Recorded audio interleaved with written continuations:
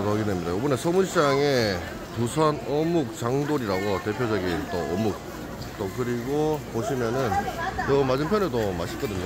근데 저는 부산 어묵 여기보다는 여기를 또 서- 선무 선호합니다. 여기가 조기살 빨간 어묵이 원조의 맛집.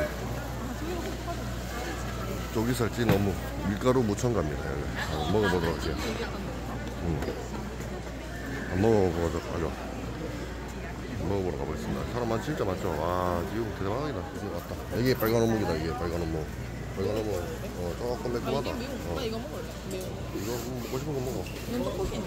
응, 이거 떡볶이 있고 여기 오뎅 있고. 뭐 이거 먹을래? 아니, 맞아. 요거 이거 매운 건데. 이거 매운 거. 이거는 이것도 매운 거지.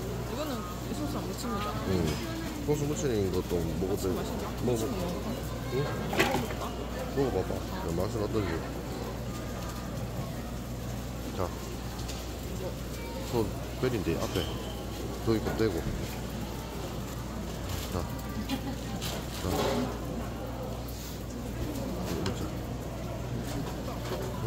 어. 일단 이렇게 양념장이라서 한번 먹어볼게요. 먹어보자. 씨, 흘러서 돼.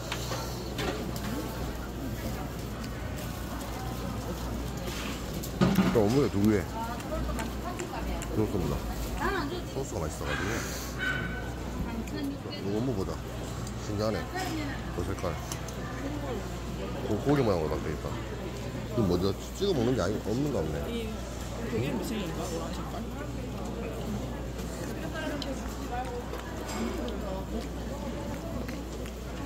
튀겨만 먹고 가도록 할게요.